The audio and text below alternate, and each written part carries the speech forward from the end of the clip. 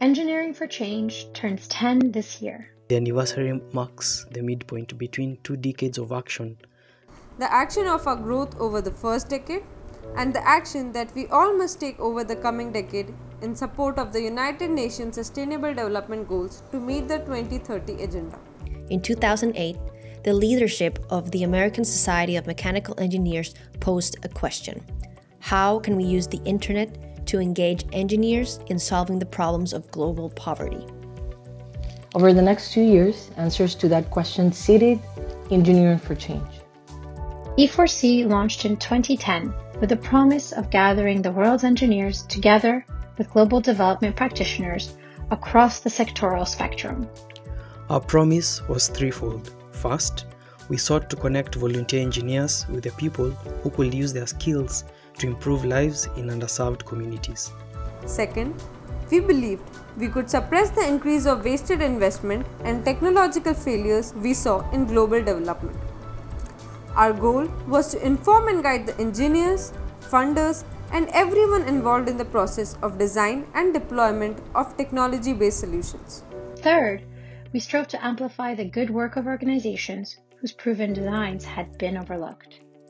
In our decade of service, E4C has evolved. We responded to the needs our members expressed, shifting from solely an online space for collaboration to an online space for knowledge sharing and workforce development. Today, our reach is broader than most of us would have imagined. We have more than 40,000 members and an online community of more than 1 million followers. Our roster of multidisciplinary experts has swelled to nearly 1,000 contributors worldwide. We now manage a research fellowship and deliver actionable research to organizations in need of engineering insight. Our solutions library has grown to more than a thousand essential technologies for underserved communities.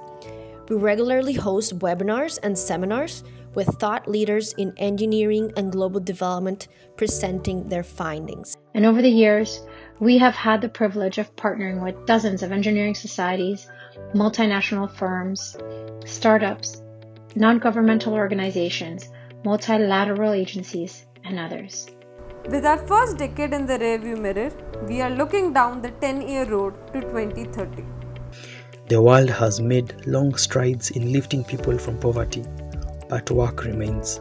Technology and the engineers that develop it play a pivotal role in reaching the Sustainable Development Goals. Mounting pressures from climate change, overpopulation, uneven support from governments, and of course, the COVID 19 pandemic all threaten to derail their completion. With those challenges in mind, we're all at the starting line of a decade of action.